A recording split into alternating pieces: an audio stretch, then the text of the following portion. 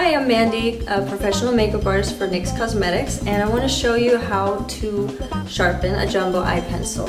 So what I'm going to use today to sharpen the jumbo eye pencil is a dual sharpener. So here I have a jumbo eye pencil that has been worn down. So you just basically put it into the larger hole, do a few turns, and then just always check on the pencil. So that seems pretty good. Now I'm going to sharpen the smaller pencil.